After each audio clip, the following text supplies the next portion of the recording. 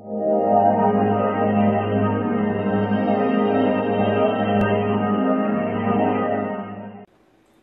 chào tất cả quý vị và các bạn. Ngày nay trong các tòa nhà việc sử dụng hệ thống điều hòa trung tâm là tất yếu.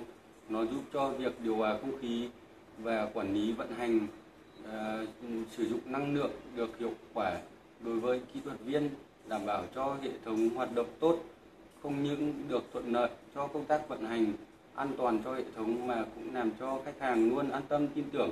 Hôm nay nằm trong chuỗi video clip tăng nghiệp của kỹ thuật viên, tôi xin chia sẻ với tất cả quý vị và các bạn cách ờ, sử dụng bảng điều khiển máy điều hòa VRV 4. Xin giới thiệu quý vị và các bạn, đây là mặt điều khiển mà ờ, dàn lạnh cho hệ thống điều hòa VRV. Giới thiệu đây là ờ, phím nguồn tắt bật và đây là sensor cảm biến nhiệt độ phòng và đây là màn hình hiển thị Ờ, các chế độ.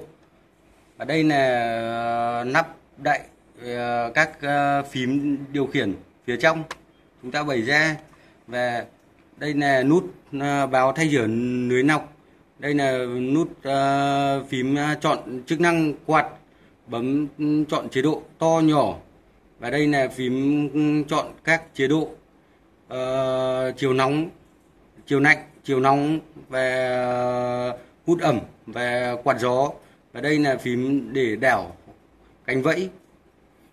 À, đây là phím à, hai phím lựa chọn nhiệt độ tăng giảm tăng và giảm nhiệt độ.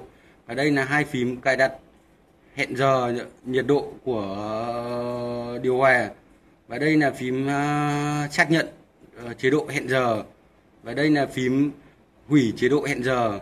Còn dưới này là phía dưới đây là phím chạy test điều hòa. Vừa rồi tôi đã giới thiệu với tất cả quý vị và các bạn cách sử dụng bảng điều khiển máy điều hòa trung tâm VLV4.